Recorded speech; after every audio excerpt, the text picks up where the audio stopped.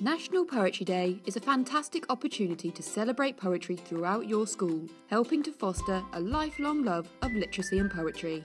This year's National Poetry Day theme is counting, and here are some ideas for you. 1. Write a recipe poem. This style can be written on any theme, and weights and measurements can be accurate or made up. So, of course, a pupil can put 100 megatons of happiness in the recipe to make Grandad.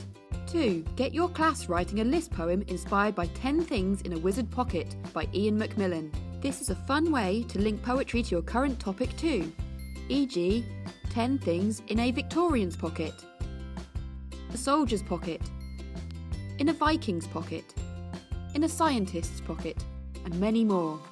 3. Write sense poems where pupils explore their five senses to describe a subject of your choice.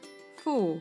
Choose a poetic form with a number structure, e.g., haiku or cinquain, which each have a set number of syllables. Here is our haiku Small hands hold big dreams.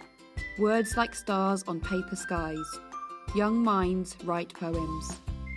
It takes just one poem. Share your favourite poem with your class. You could read the poem or find a recording on YouTube. Invite your pupils to write their own poem in any style and on any theme for our latest competition, Wonderverse. They could see their work published in a book, which is a real boost to their confidence, and you can keep the engagement going long after National Poetry Day. We hope you and your pupils love writing your poems.